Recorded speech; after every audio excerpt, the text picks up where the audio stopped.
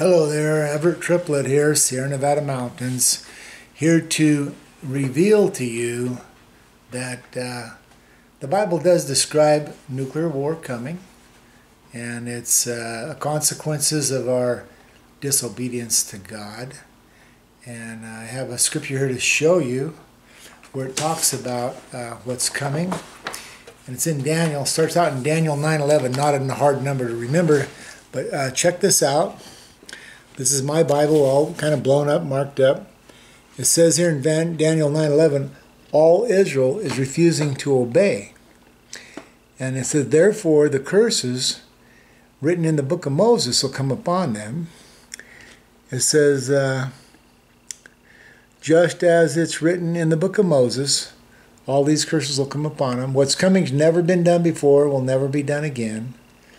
And then, uh, as I was reading this in my study time, the question came to my mind hey, I want to know what is, what is written in the book of Moses? What curses could this be talking about? When uh, I did, took a while, but I found where this is talking about what's written in the book of Moses. And so here we go. The book of Moses is Deuteronomy 28. So you read Deuteronomy 28 all you have to do is see where it says uh, these curses will come upon you if you don't obey the Lord. And then, and then it goes on and on. These are the curses that will come upon you. And it mentions here that uh, the Lord will strike you with, uh, right here, a wasting disease, fever, inflammation, scorching heat, and drought. And then top of the page over here, it goes on to say uh, everything that's being described fits uh, the definition of a description of uh, radiation sickness. So radiation sickness appears to be uh, described right here, where it says, uh, the Lord will turn the rain of your land into dust and powders like fallout dust. And then it goes on to say, talks about festering sores and tumors and itch from which you cannot be cured. This is uh, the curses that are coming. These, these are referred to by Daniel because Daniel is saying that it says, first of all, it says all Israel. It says all Israel is refusing to obey, therefore these curses will come upon them. And so uh, the question is, who is all Israel? And it's quite simple. And for one thing, it's not talking about the place Israel because uh, a place does not refuse to obey, but it's talking about the people Israel. And in our modern present day world, uh, that can be a challenge to figure out well, who are these people Israel who are refusing to obey? But the Bible gives us the answers. Abraham was promised by God he would become the father of many nations, that his descendants would be like the sand on the seashore, the stars in the sky.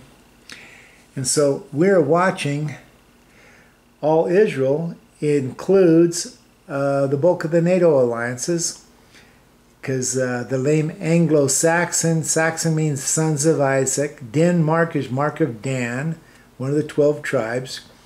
They all migrated westward.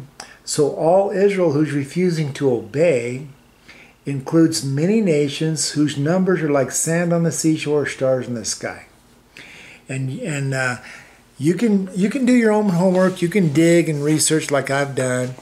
And um, right before Moses died, he was on top of Mount Nebo, and, and uh, the Lord told him the promised land lies to the west, beyond the great sea. And so Joshua took over to lead them. They started going westward. They went northwest. They don't go southwest. That's back in Egypt where they were slaves. So, so they became the Greeks. Judah was pro- prophesied over by uh, Israel who was Jacob, and, he, and told Judah, "The ruling scepter will never leave your hands." So, so Judah, the ruler, became Greece, the for birthplace of democracy, and the Greek Empire ruled the world for a time. Then westward, it went to Rome. Rome became the Roman Empire, ruled the world for a while. Then it went westward to Great Britain. The British Empire ruled the world. Sun never set on the world. Then, then we became the sons of England, we became the sole remaining superpower ruling the world, the world's greatest economy, world's greatest military power, and our time has come and it's passing.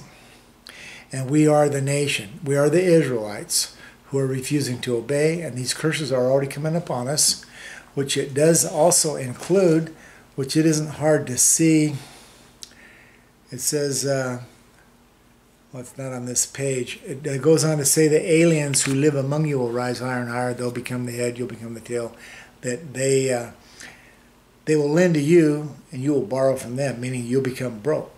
Because uh, in the blessings part, which is it's like a Deuteronomy 20, it's like a two-sided coin. And if you're blessed, you'll lend to many nations and borrow from none, and you'll be the head, not the tail. See, all these scriptures here have been fulfilled for a nation that we were, where we obeyed God, that we actually uh, followed Him. We were at the top, never at the bottom. It says so. So we were not supposed to turn away from God, but because we did, we're no longer a nation under God, and we pledge allegiance, one nation under God, indivisible, with liberty and justice for all. I go, well, we're now we're divided. Uh, we're not under God, and uh, liberty, justice, it's uh, become kind of uh, scarce, all because the curses are upon us. But uh, Jesus will return, and His people will be uh, brought through the fire, tested like silver, refined like gold. That's Zechariah 13 8. I recommend you check that out. Anyway, uh, God bless you. Thanks for watching. All about Daniel 9 11 and the curses in Deuteronomy 28 that Daniel 9 11 refers you to. Understand the Word of God's accurate and it's happening just like it said it would. And we're there. Click like and subscribe.